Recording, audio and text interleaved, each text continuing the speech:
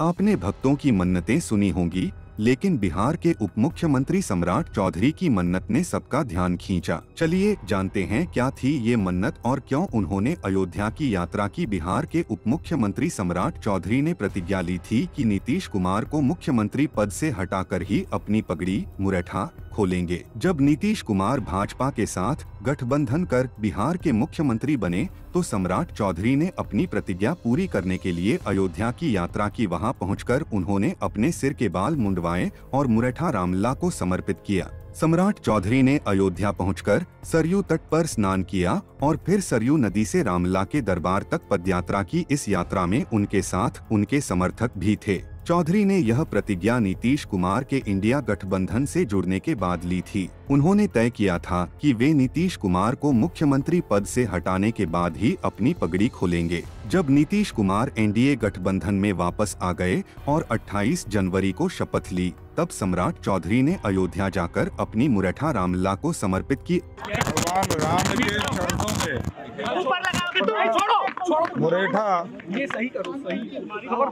उनके समर्पण करने आया हूँ? तो और पिछले दो साल से हम लोग लगातार बिहार में एक अभियान चलाकर इंडी गठबंधन के सरकार को हटाना था। और आदरणीय नीतीश कुमार जी ने 28 जनवरी को वो गठबंधन छोड़कर हमारे साथ मुख्यमंत्री हुए।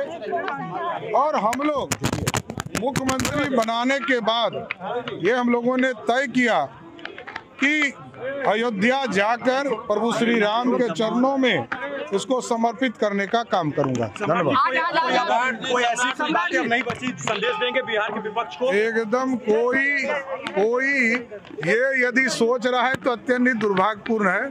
पूर्ण रूप से बिहार की जनता ने भी 75 परसेंट से अधिक सीटें भी हमको जिताने का काम किया और साथ ही साथ महागठबंधन अब पूरी तरह कंफ्यूजन में ना रहे, पूरी तरह एनडीए एकजुट होकर बिहार में 40 की 40 सीट और अगले साल जो विधानसभा का चुनाव होगा उसमें 243 में 200 से अधिक सीटें अयोध्या में रामलला का दर्शन कर सम्राट चौधरी ने कहा कि उन्होंने पिछले दो साल से अभियान चलाकर इंडिया गठबंधन की सरकार को हटाने का काम किया है। बिहार की जनता ने उन्हें 75 परसेंट से अधिक सीटों पर जीत दिलाई है। उन्होंने विपक्ष पर हमला करते हुए कहा कि इंडिया गठबंधन को कंफ्यूजन में नहीं रहना चाहिए।